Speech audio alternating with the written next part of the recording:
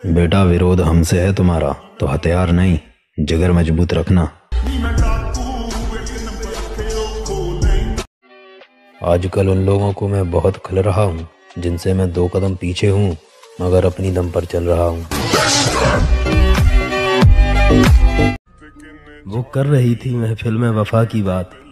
हमने पत्थर उठाया और वो चुप हो गई।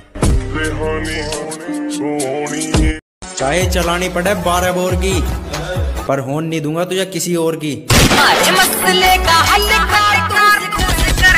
आवड़ी तरेड़ जा ज़िले जी। भुला चुका हूँ उन लोगों को जिनको मैंने गलती से चुना था। सब बीमारी लग जाओ भगवान लेकिन दिल के ना।